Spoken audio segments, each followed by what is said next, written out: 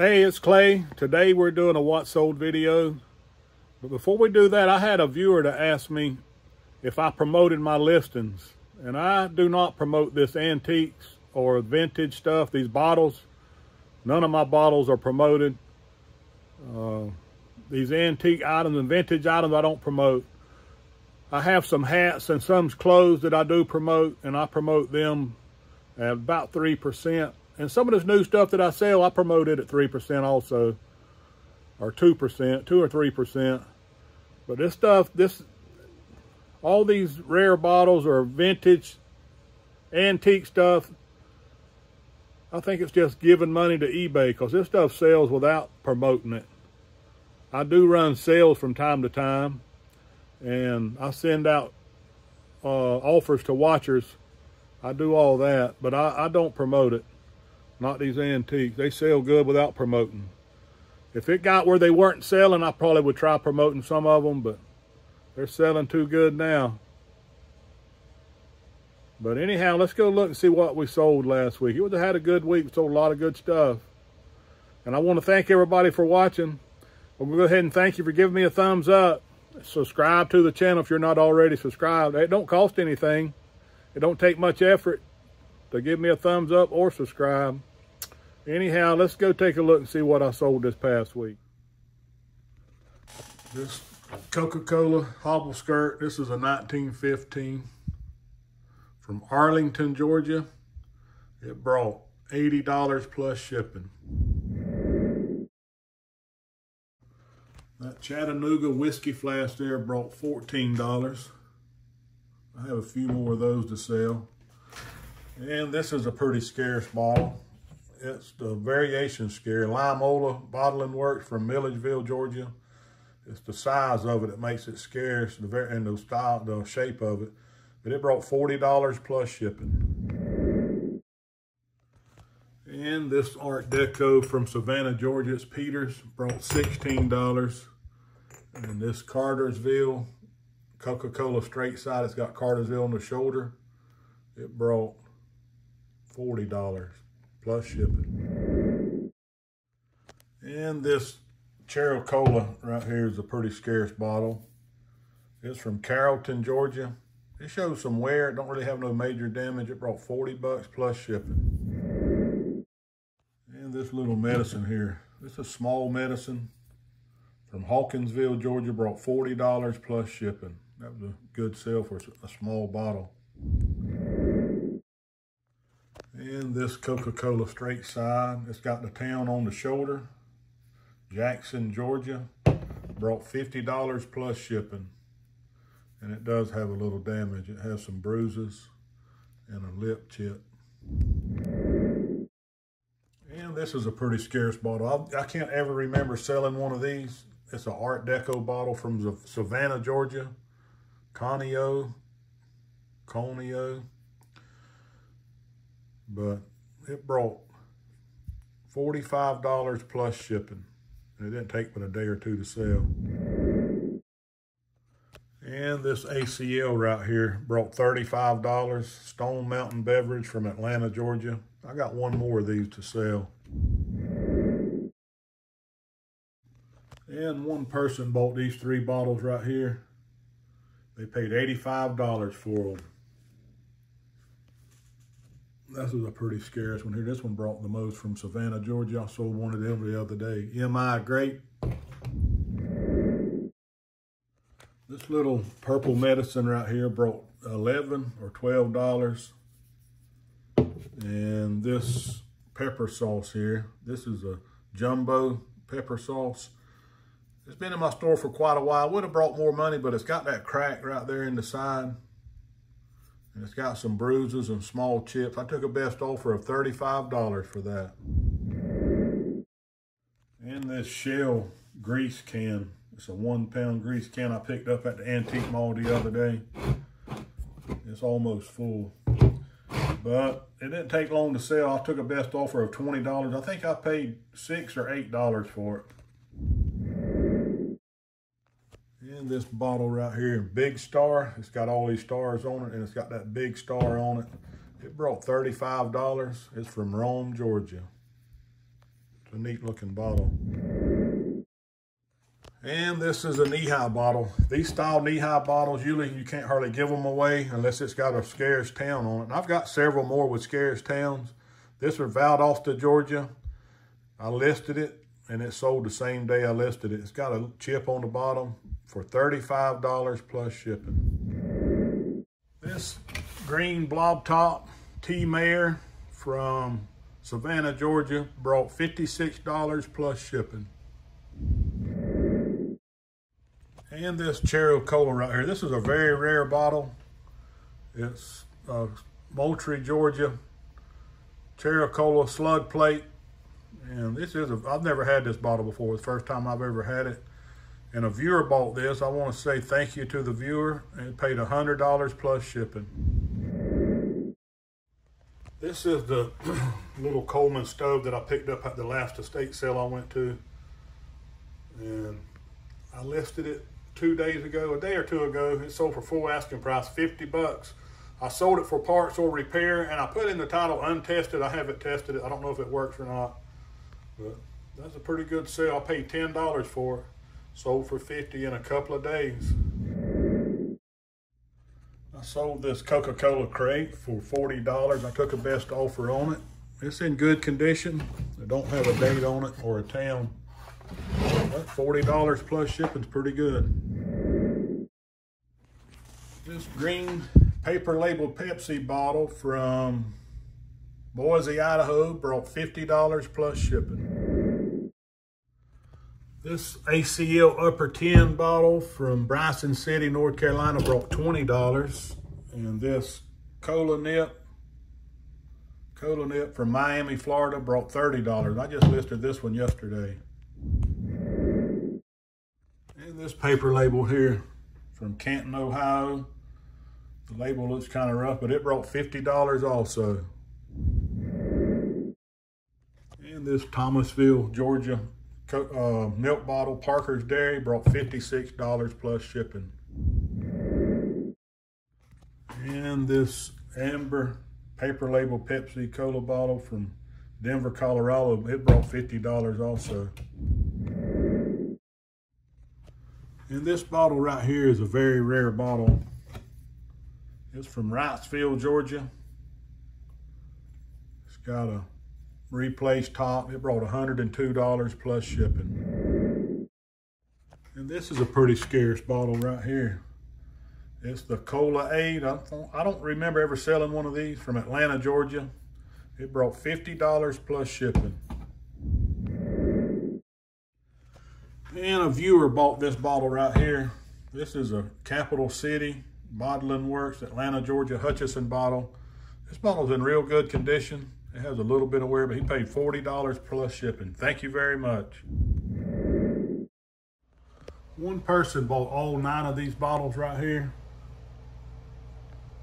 They're six paper labels and three are embossed. And they paid a total of $339 plus shipping. The good sale, and they bought another lot. I'll be showing in just a minute. And they bought these four bottles right here. They're all four paper labels, and they paid $146 plus shipping for these also.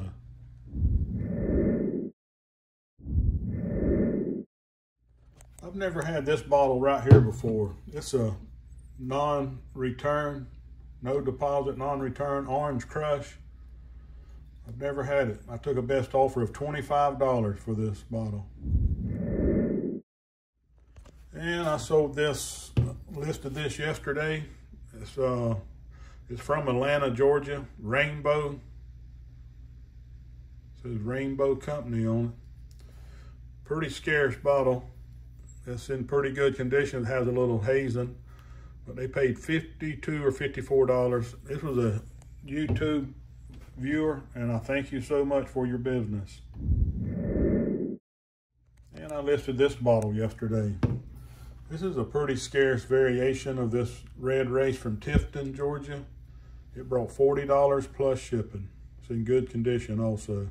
And this is a Art Deco bottle, Big Joe from Valdosta, Georgia.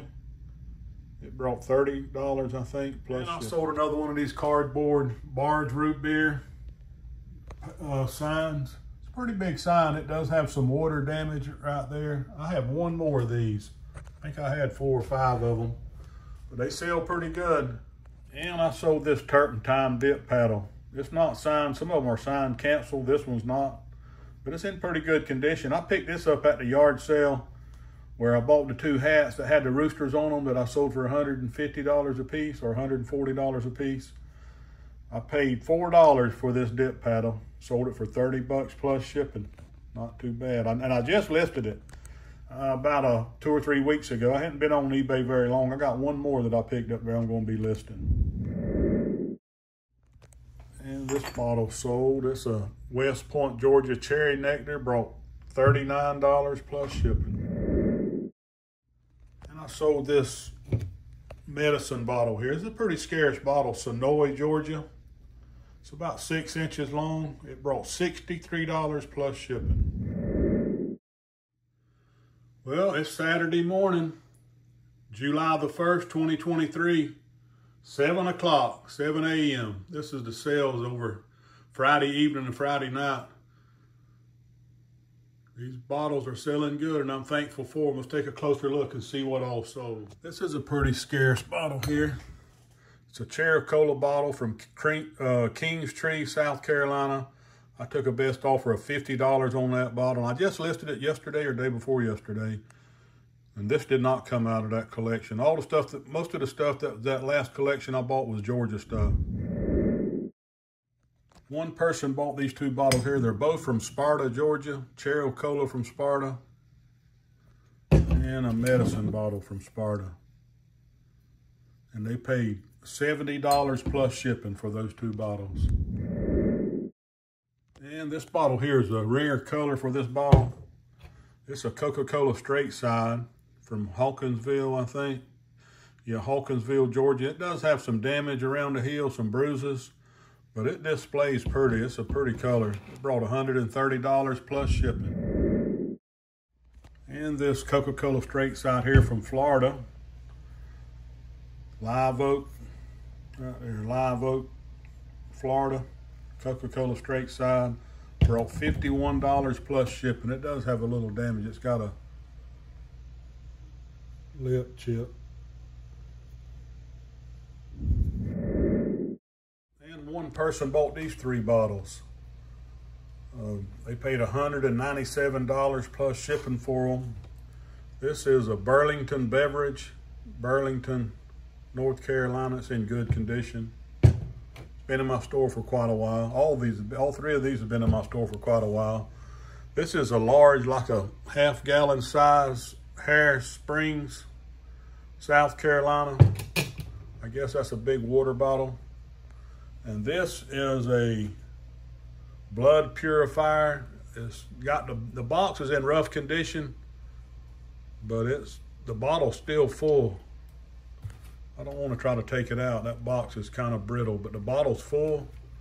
That's a pretty good piece. I, I think this bottle's embossed, but that was a pretty good sale. Almost $200 plus shipping. And this is a Valdosta, Georgia Hutchison bottle. They're pretty scarce. This one does have a repair on the lip, but the rest of the bottle's in real good condition. And I took a best offer of $150 for this Valdosta Hutchison bottle. And this bottle right here is a pretty scarce Valdosta straight side. It's the property of, and this would be a pretty valuable bottle, but it has a replaced top. So I took a best offer for $57 because of the replaced top. The rest the bottle looks good. It'll display good, but it does have a replaced top. The rest of these bottles didn't bring a whole lot. This is a Brunswick, Georgia swirl. I think it brought like $25. Pelham, Georgia Bottling Works. That's a rare bottle, but it's damaged. It's got a big crack down the side and a big lip chip and some bruises. I don't brought like $30 or $35. West Point, West Point Grocery Company, bottling department. It's got a replaced top. It brought like $30. This is a AL Cola from Atlanta, Georgia. It brought about 20 or 25. This is a Statesboro NuGrape. It brought 20 or 25. This is a Red Race from Ashburn. This is a rare bottle, but it has damage. And I took a best offer of $35, I think, for it. 35 or 40. And those bottles there, they rare bottles, but they're damaged. This is a Camilla Bottling Works and a Madison, Georgia, Pete Bottling Works. They brought about $25 a piece. This is a Ben Hill Fitzgerald, Georgia bottle. It's got damage also. Let's see. Right there, it's got a big chip on the heel and a crack somewhere. Maybe just bruises and some lip chips. It brought about $35. This Artesian Bottling Works from du Dublin, Georgia. Brought 20 or 25. Helena, Georgia. This is a rare bottle, but it's in bad, bad condition. It's missing part of the top. I took a best offer of $21 on it. This is a purple Coca-Cola bottle. This is I've sold several of these from Birmingham, Alabama. Straight side. They have replaced tops. If they didn't have replaced tops, they'd bring a lot more money. I took a best offer of $33, I think, for that. This is just a red and white single dot Valdosta, Georgia Pepsi bottle. Them Valdosta ones are pretty scarce. I took a best offer of 20 on it. Two full glasses from La Vergne, Alabama. It brought $25. And this is bottle got that, if it didn't have that big crack in the side, it would have been all right. Waynesboro Bottling Works. I took the best offer of $30 on it. That was it. Pretty good sales. I got to get them packed up. And this big Pepsi bottle. It's a 20 inch Pepsi. It's a paper label. Not sure how old it is. It may be from the 90s or 80s. I'm not sure on how old it is. But it's embossed on the shoulder there, Pepsi Cola. I took a best offer on that. I just listed it about a week ago, I guess. And I took a best offer of $75 on that 20 inch paper label Pepsi. I have one more of them I'll be listing also. Here's a scarce bottle. It didn't bring a whole lot of money. I couldn't find one like it. I never sold one of them before. But it's Tidewater Bottling Company from Virginia. I auctioned it off. It brought $42 plus shipping. It's in good condition also. It's still Saturday morning. Bottles keep selling. Somebody bought these two bottles right here. One person did. This is a Spike It. I've never seen this ACL before from Atlanta, Georgia. And this is a Griffin Ice Works from Griffin, Georgia. They paid $50 plus shipping for those two bottles. And this is a Coca-Cola straight side with the center slug plate. Thomasville Ice and Manufacturing Company, Thomasville, Georgia. Most of these bottles, I've sold a bunch of these over the years. It's not a rare bottle. It's a rare bottle in good condition because most of the ones I've sold got lip chips or chips or cracks. But I bought a couple of cases one time from a bottle digger that lived in Thomasville. But this one sold for $49 or $48 plus shipping. That's all I have for now. Thanks for watching. Give me a thumbs up and leave a comment down below.